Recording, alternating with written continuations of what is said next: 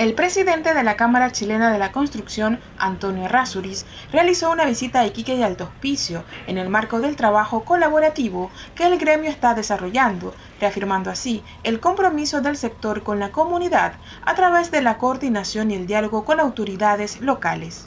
Lo que estamos haciendo hoy día, estamos articulando asociaciones con el mundo público-privado. Nosotros sabemos construir, nosotros podemos aportar la gran gestión que tenemos en los proyectos. Pero tenemos que invitar a participar al, Estado, al gobierno, a los dueños de, los terrenos que son fundamentalmente el Estado, eh, a agrupaciones eh, de comités de vivienda.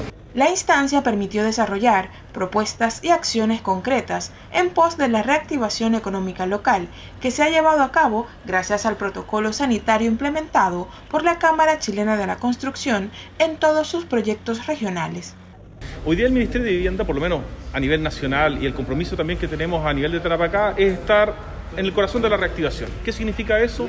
Poder concretar la mayor cantidad de proyectos de vivienda que den lugar a obras como la que, la que estábamos acá, ¿cierto? En Terraza de la Pampa y Vista al Horizonte, que es parte de un PUH más grande, en donde son más de 1.400 viviendas que logramos concretar en un plazo bastante corto.